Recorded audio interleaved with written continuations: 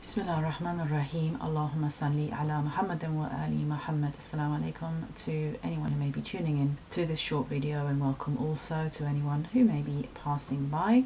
And in today's video, I'm going to be talking a little bit about modernity uh, and what it is because I have addressed the issue of modernity in quite a few of the videos on this channel and someone made the point about well how do you define modernity so today I'm going to be uh, looking at a few points on modernity and also referring to the particular book that I've mentioned before, Marshall Berman's All That Is Solid Melts Into Air, which was written, I think, in the 80s or published in the 80s. And uh, this is a whole study on the nature of modernity, which is apparently what we're living in in this day and age. So let's take a look at a definition of modernity written by Sharon Snyder, which says that ultimately modernity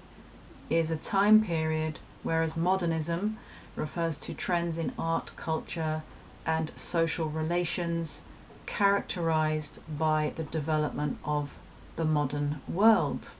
Modernity, the self definition of a generation about its own technological innovation, government, governance, and socio-economics. To participate in modernity was to conceive of one's society as engaging in organizational and knowledge advances that make one's immediate predecessors appear antiquated or at least surpassed. So, this is what I've mentioned in previous videos this attitude to the past, which is like, oh, it's old fashioned, it's backward, it's we don't do that anymore. I've mentioned it in other videos as well. Like a favorite term is, oh, that's so medieval. Like medieval's supposed to be really backward, uh, and this is applied to Islam. Oh, it's so medieval, as in that word by definition implies that we don't do that anymore. Like you know, grow up, move on, catch up. That's what the general attitude is an understanding. And mustn't be forgotten that this attitude has been inculcated in people. This mentality has been nurtured in people over decades, so it just hasn't come out of nowhere. So Victorians thus appeared old fashioned to a new generation of moderns at the beginning of the 20th century, and the motto of poets of the time was to make it new. More specifically, modernity was associated with individual subjectivity, scientific explanation, and rationalization.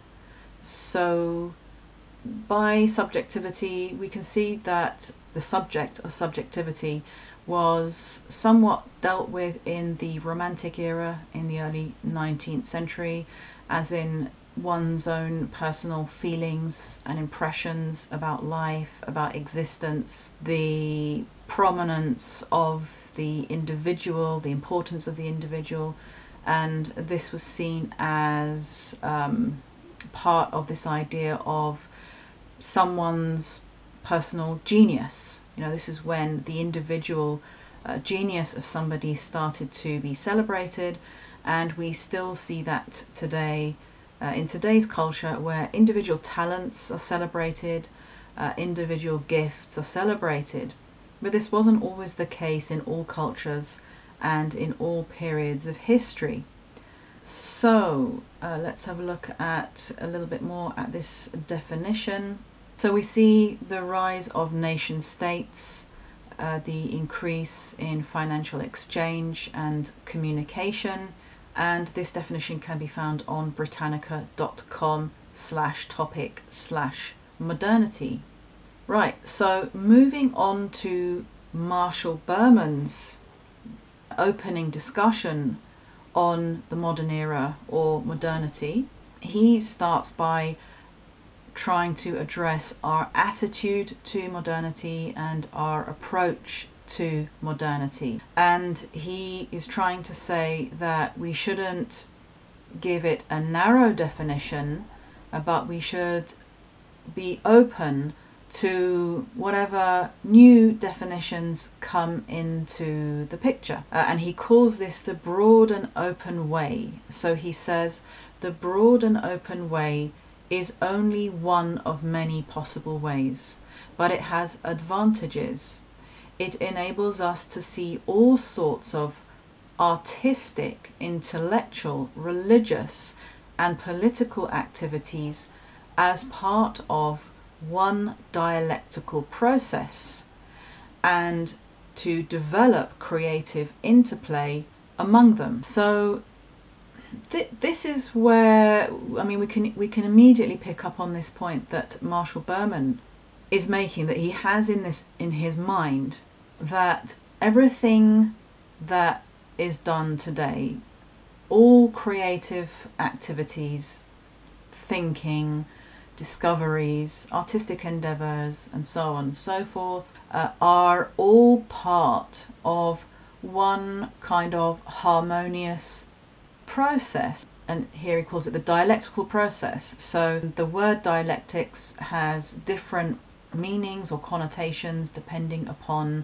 whether it is used in the sociological context or whether it's used in the philosophical context. But if we have this idea of a general definition of dialectics, then what is meant here is an interplay of different aspects, an interplay of different influences, of different discussions, ideas, and everything is being interwoven, everything is participating in one arena. And through this dialectical process, which could also be called in philosophy the Socratic method, through this dialectical process, people are step by step getting closer to the truth. Or maybe, as the postmodernists like to say, you can never really reach the truth, you can only reach a truth. Uh, so, this dialectical process where people are constantly seeking out what is real, what is authentic, to use a popular word today. All of this comes together in the search for greater understanding and in the desire to get closer to the truth or to get closer to a truth. And so we are all participating in this dialectical process.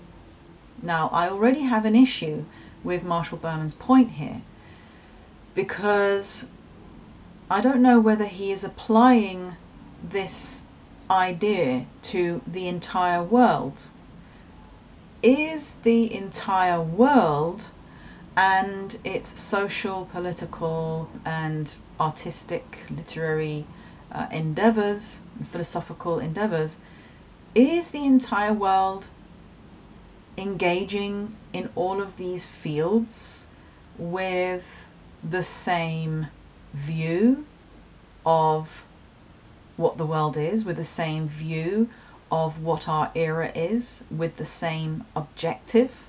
Does everybody have in their mind that this is what we are all participating in? Like we are now all participating in what could be called the modern era? And I think no, in a, in a word, no, not every single part of the world, not every single human being is living their life, is engaging in some kind of creative process as part of this one dialectical process, as part of an engagement with other people who are involved in the same process.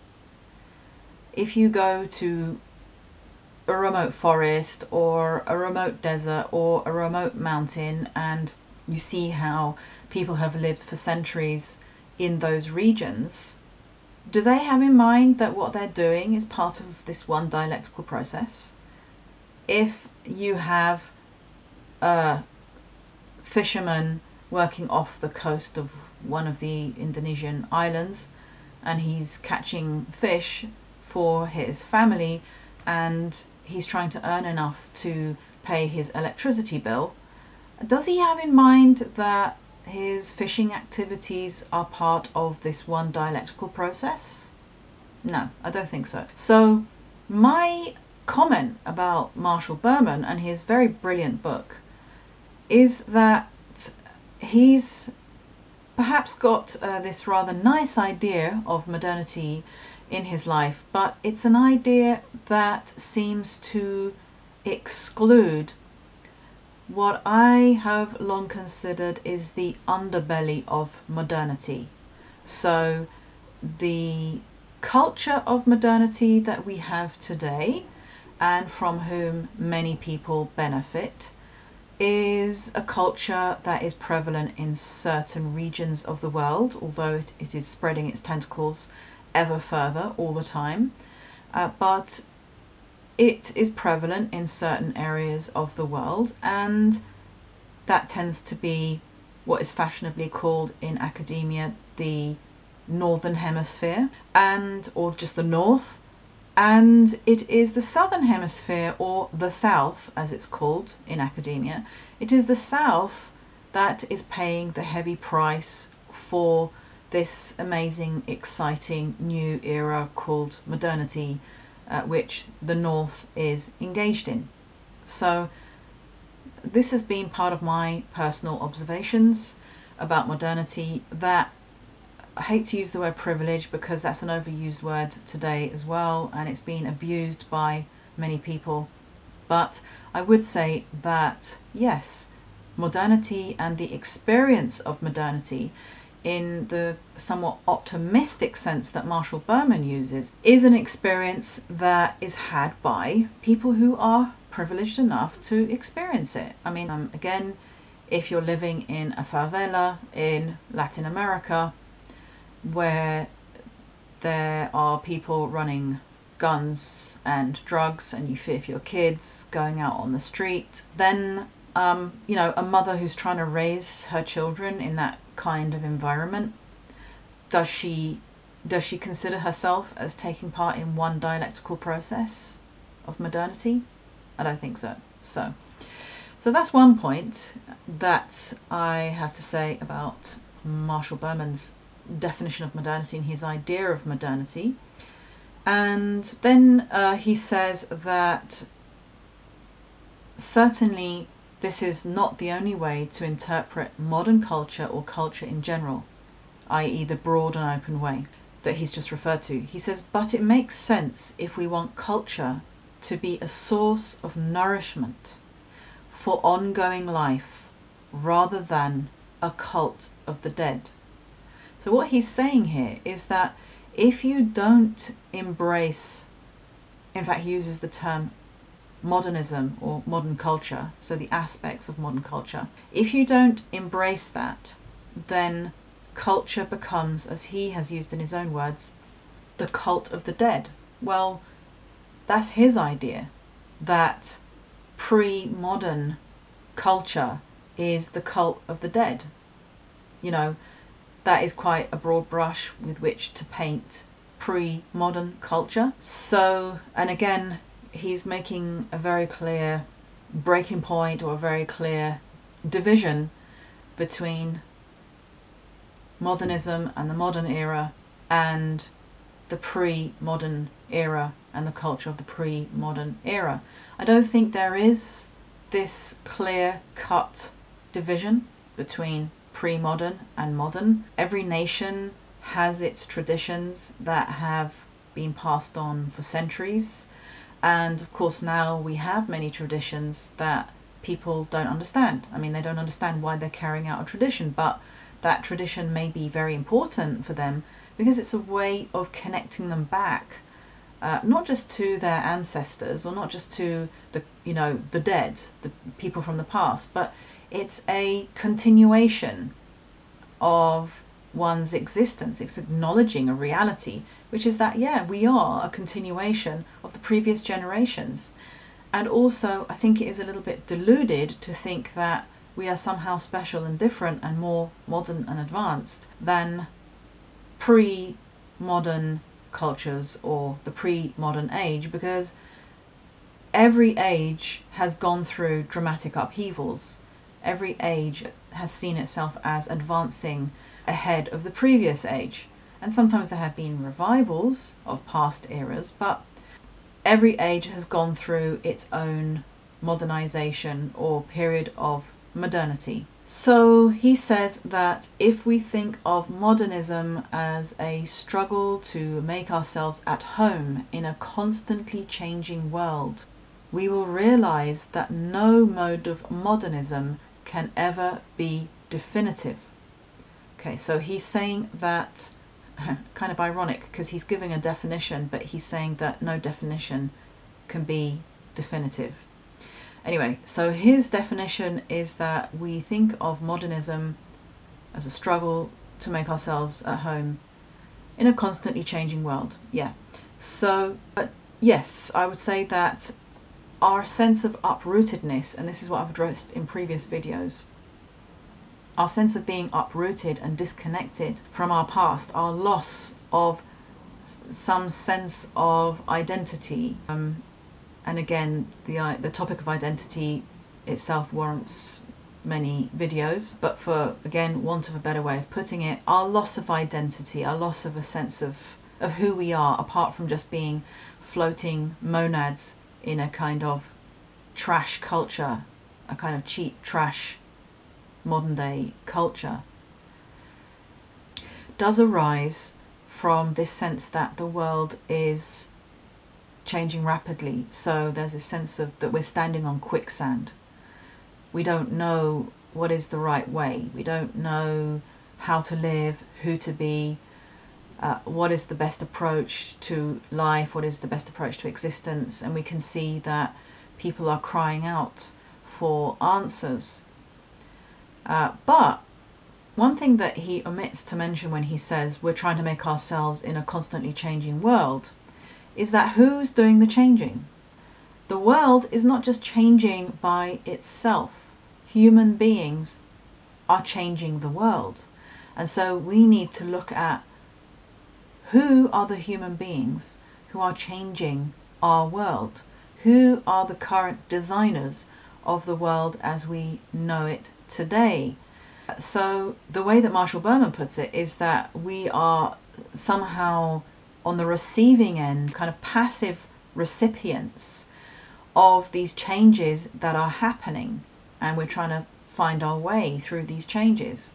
But what he's omitting from this view is that these changes have been actively designed by people, and most often, many of those changes have happened because of people seeking profit, industrialization people seeking profit, people seeking to gain more, get back more for what they put in, production, and to enrich themselves through that.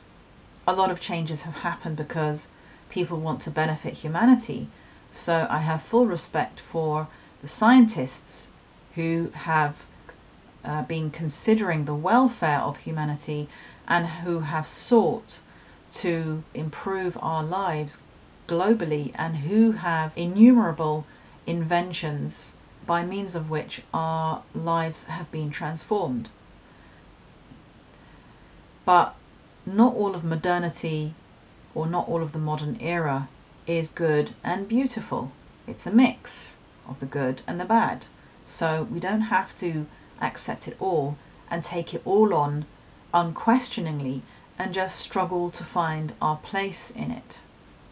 I'll just conclude with this one final point from Marshall Berman about the characteristics of modernity, or one of the characteristics of the modern age.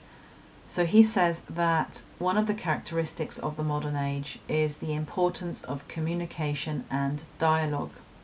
And he says there may not seem to be anything particularly modern about these activities, which go back to indeed, which helped to define the beginnings of civilization and which were celebrated as primary human values by the prophets and Socrates more than 2,000 years ago.